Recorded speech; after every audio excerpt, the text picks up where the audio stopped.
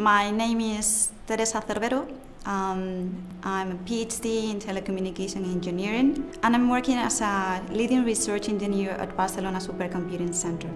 We're basically um, more focused on designing and developing accelerators and infrastructure for future supercomputers. Right now, I'm working just in one big European project. Basically, what I'm doing is design and develop technology for future machines to solve problems like where uh, the universe was created.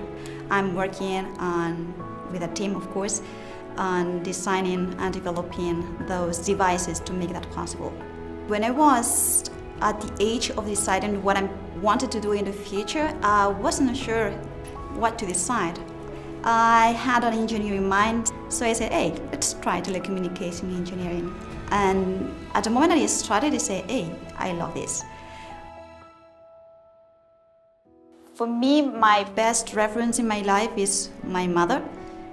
I've had a lot of discussions with her saying, hey, that's not gonna work. And she always said, no, no, no, this is gonna work. She builds that reality. As a woman, I think there are challenges. Uh, keep the balance between personal and professional career, it's not easy in my case, I'm, I'm a mother, so I have kids at home. So finding the way to balance your personal space uh, with your kids, then with your work, it's, it's not easy.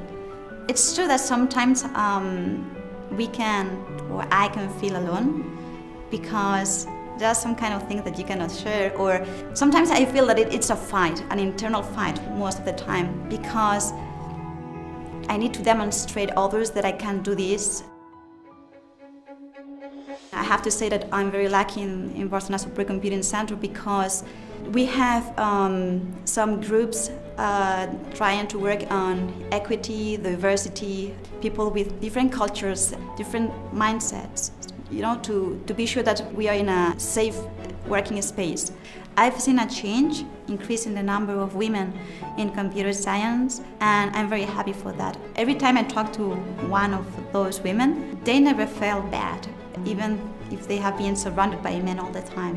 What I would like is to not just talking about gender, talking about human beings. I think they are moving in a good direction, in a better direction. That's the change that we need to, to create in the society.